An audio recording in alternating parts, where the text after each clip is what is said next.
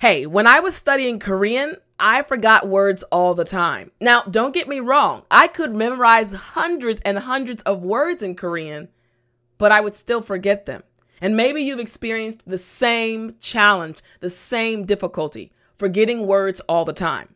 Well, today I want to tell you the five reasons why you keep forgetting words. And I also want to give you the five solutions. I'm Teacher Tiffani. Let's jump right in.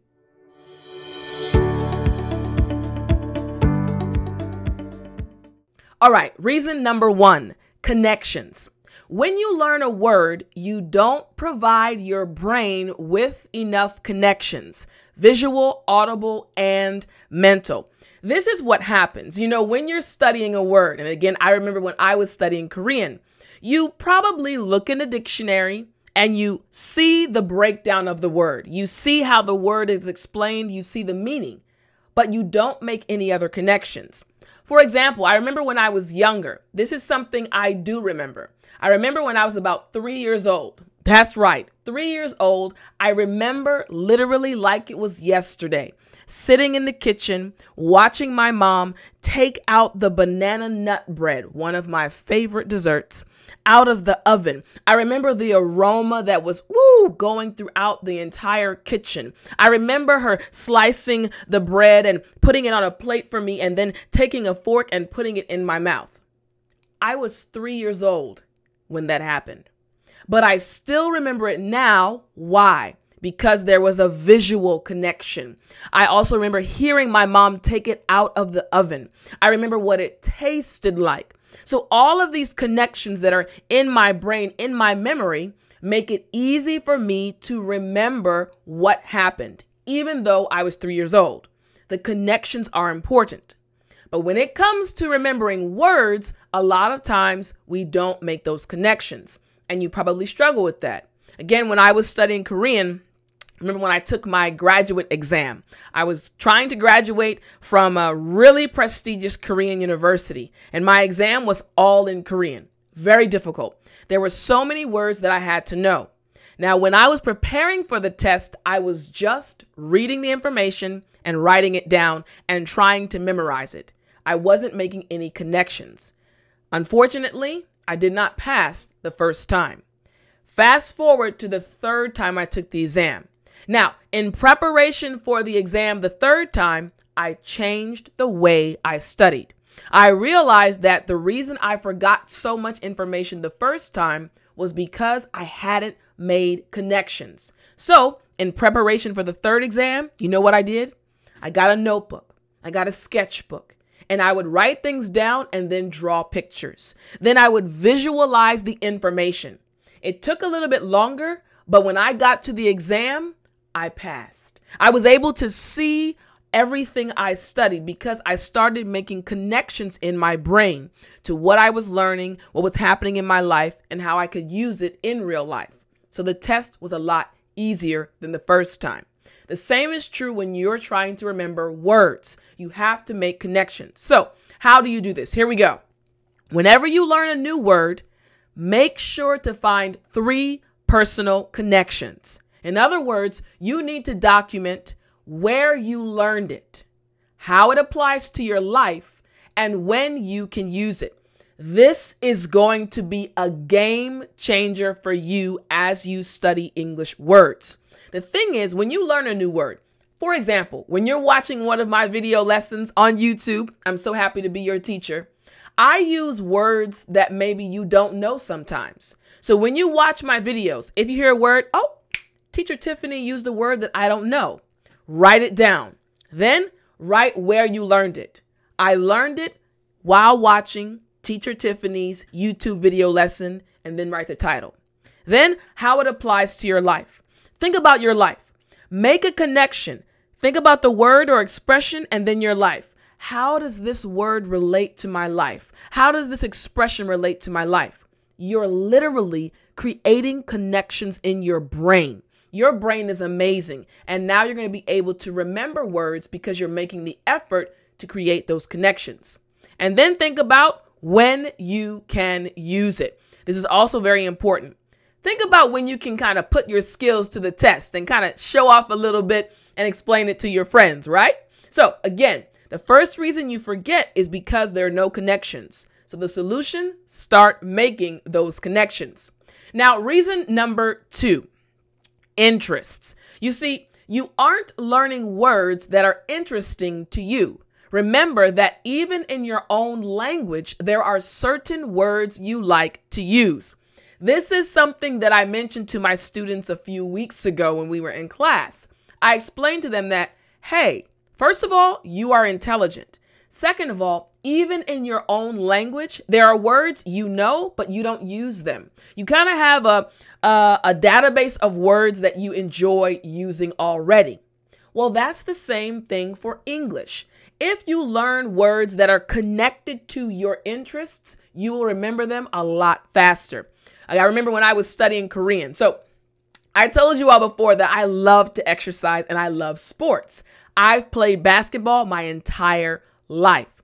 So when I was studying Korean, I realized that I could learn faster by learning the words that were connected to what I liked. So I remember literally in class one day, the teacher was teaching us vocabulary words and she said nongu. And I was like, oh, what's that? She said, oh, it means basketball in English.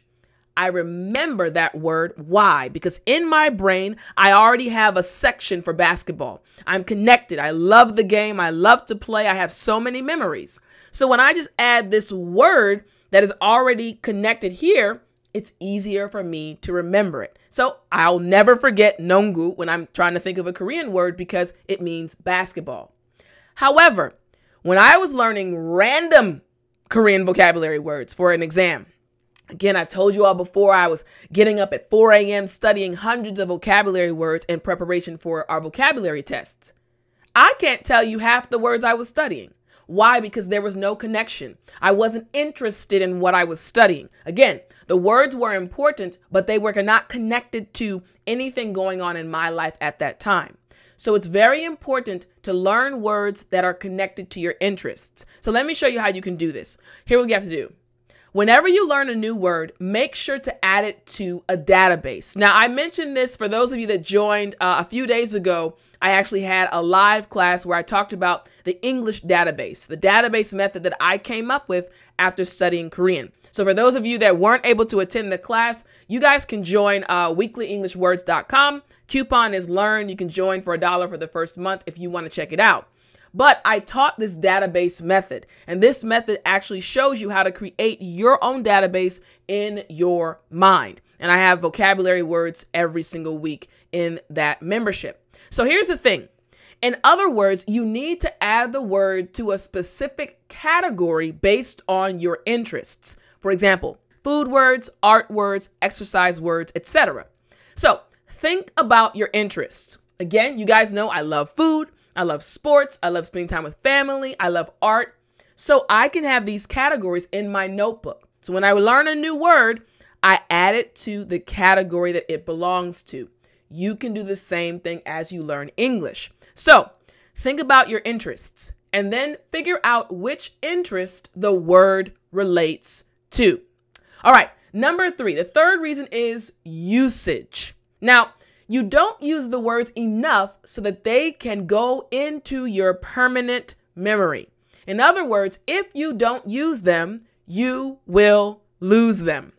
So, um, when I was studying Korean, now, when I first started studying Korean, it was around 2009 or 10, but I was studying alone. Now, at that time, I was really a beginner. I, I really couldn't have a conversation. I could only say basic things but I still remember the first two words I learned, not including hello, like 안녕하세요, not including that. The first two words I learned were 진짜 and 정말. 진짜 and 정말. Now, these two words just mean really, for real. And I'll show them to you real quick. Look right here on the screen. You'll see 정말 and 진짜. All right. So I learned these words I will never forget these two words. And do you know why? I used them every single day, probably about 10 to 15 times a day. So much so that my Korean friends were like, Yo, Tiff, your favorite word is tincha, or your favorite word is chongmal.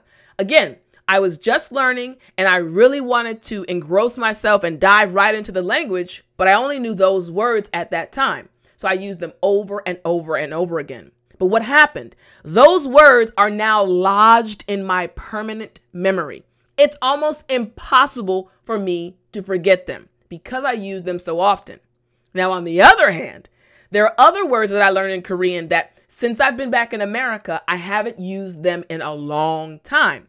So when I have conversations with my Korean friends and we're speaking, there are moments more often than in the past where I'll say, ah, ah, what's the word again? And I'll forget a word because I haven't used it in a long time. But I'll never forget tinta or chongmao because I used it so much. So the same is true for you. Usage is one of the reasons why you're forgetting words. So what's the solution? Here we go. Whenever you learn a new word, make sure to use it three times within the first 24 hours. I cannot stress this enough. Within the first 24 hours of learning a word, you must use it three times. Figure out how to use it three times, and you'll be amazed how much easier it is for you to remember words moving forward. So, in other words, you can use it in a comment under a video, like this video. Go ahead and comment if you learn a new word.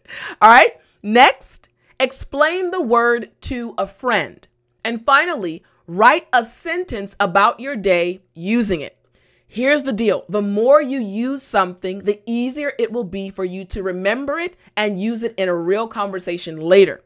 So if you feel like you're always forgetting words in English, try this solution right here. Use the word three times in 24 hours right after you learn it. Now, the fourth reason why you're forgetting words often is right here interference. Real quick pronunciation inter, good, ference. Good. That F sound. Interference. Excellent. All together, interference. Good. Last time. Interference. Good. Now, interference. Here's the breakdown. Sometimes you learn something else before you use what you already learned. This interferes with your brain's ability to store and remember things. So let me explain what I mean. Interfere just means like to interrupt or to halt the progress of something. So, again, when I was studying Korean, when I started, I was working and studying at the same time. Now, for the beginner level, it was hard, but it was okay. I was learning and working, and everything was okay. I was able to remember the information. But as I progressed to the intermediate level, I started realizing that we were learning a lot more in class. We were learning a lot more difficult topics, words, expressions, and grammar rules. So, what was happening was I was learning all of this information in class, coming home, and immediately going to work. Then I'd come home late at night, try to review a little bit, get up the next morning, review a little bit, and go right to class and learn more. So, this is what was happening to me. Lots of information, lots of information, lots and I was getting overwhelmed because I was never getting the opportunity to learn the information and use the information. So there was an interference. All of the information had gone into my brain, but it was being pushed out by the next information. And that was being pushed out by the next group of information um, topics the teacher would give us each day in class.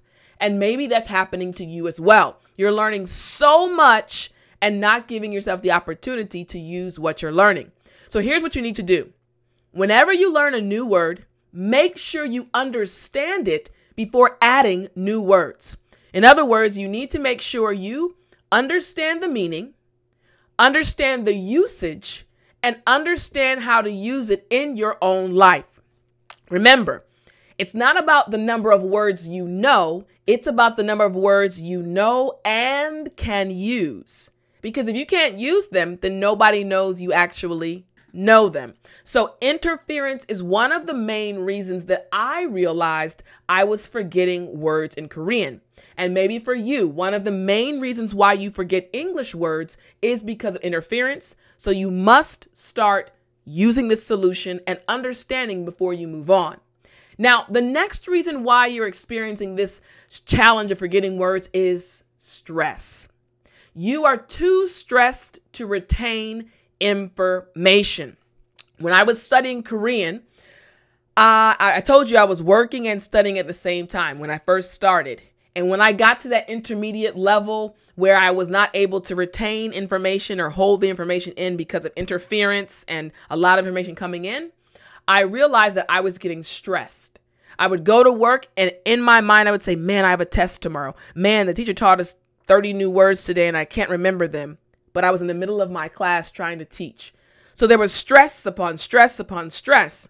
So then when I did try to go study, I wasn't able to retain the information. I kept forgetting because I was so stressed. It was like a lock was on my brain.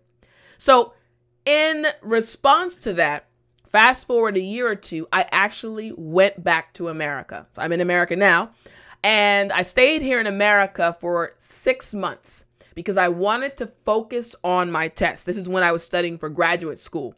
For six months, I didn't work at all. I only studied. Praise God for good parents. They let me stay at their house, they let me stay here, and it was everything was okay. But for six months, I only focused on learning. And what happened? The stress went away. Now, I'm not telling you to quit your job. Don't do that. I'm not telling you to stop everything and just study. The point I'm trying to make is when I removed the element of stress away, I was able to retain the information I needed to pass my Korean exam. I was able to remember words, ideas, and concepts in Korean. The same is true for you. The reason, one of the reasons why you keep forgetting words is you're probably stressed. Maybe you're preparing for an English exam. Maybe you want to get a job and you have an English interview. Maybe there's something pressing that you have to do and English is necessary. So there's a stress element and that's causing you to forget words. So, what's the solution? Here we go. How to stop feeling stressed. Change your focus. Focus on how the words will help you reach your goal don't focus on failing. Again, for me, when I was working and studying, I kept thinking, oh my goodness, I'm not going to be able to get the information. Oh my goodness, I'm so tired. I'm so stressed. I was focused on failing. You have to stop focusing on failing, change your focus. Next, take periodic breaks. This can help you relax and give your brain an opportunity to process the words you just learned. And finally, remember that people want to listen to you. The words you are learning will help others understand you more. The fact of the matter is, you are awesome, you are amazing. And stress can actually hurt you. Let the stress go. Realize that you can learn lots of words. Realize that people do want to listen to you. Even if you are preparing for a test or preparing for an interview, focus on success. Focus on the fact that, wait a minute, I am actually studying another language. I can do this. And your brain will relax as well and let the words come in and sink in. These are the reasons why you're forgetting words. I hope this lesson helped you. I hope these solutions help you just like they helped me. Again, if you really are trying to improve your vocabulary, like I mentioned earlier, I talked about this English database that I've created with another teacher, weeklyenglishwords.com. I'd love for you to check it out. The coupon is LEARN, and you can get the first month for $1. Again, if you're focused on improving your vocabulary words and you're tired of forgetting words, this database will help you a lot. Well, guys, I hope you enjoyed today's lesson. Thank you so much for joining. Remember to like, share, subscribe. I will see you next week. But as always, remember to speak English.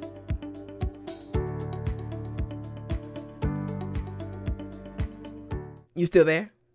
You know what time it is. It's story time. Hey, I said it's story time. All right, guys. So, for today's story, again, we're talking about forgetting words and remembering words. So, this is a story that happened. I was in Korea, and uh, there are two word, two other words in Korean. I mentioned earlier chincha and changma, but there are two other words, un and ne. They both mean yes or yeah.